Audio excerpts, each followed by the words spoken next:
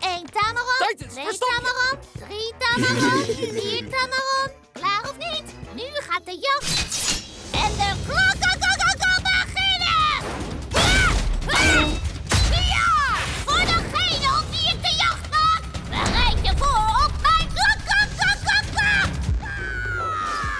Geen idee wat kloenkakakaka is, maar het klinkt niet goed. Ze spelen verstoppertje een beetje anders op haar planeet. Man, die Tamaranianen zijn gek. Ze sporen niet. Ja, minder zoeken en veel meer hakken. Misschien moeten we ermee ophouden. Relax, niemand verkeert in gevaar, want Star kon ons nooit vinden. Maar hoe kunnen we ons zo lang verstoppen? Door het volgen van les 2 van de kunst van het verstoppen wordt de meester in vermommen.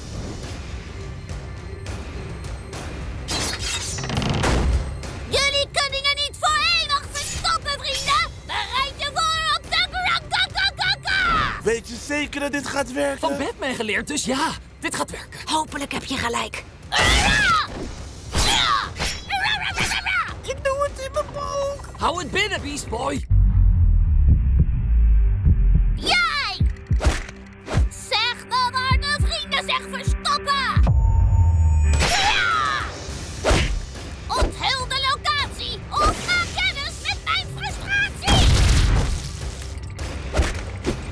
Of maak kennis met Nee, mijn... wacht, ik ben het, Robin. Ik geef het op. Geef me alsjeblieft geen kloenkakakaka. Oh, jij bent de vriend Robin. Nou goed, dan als je zo bang bent voor de...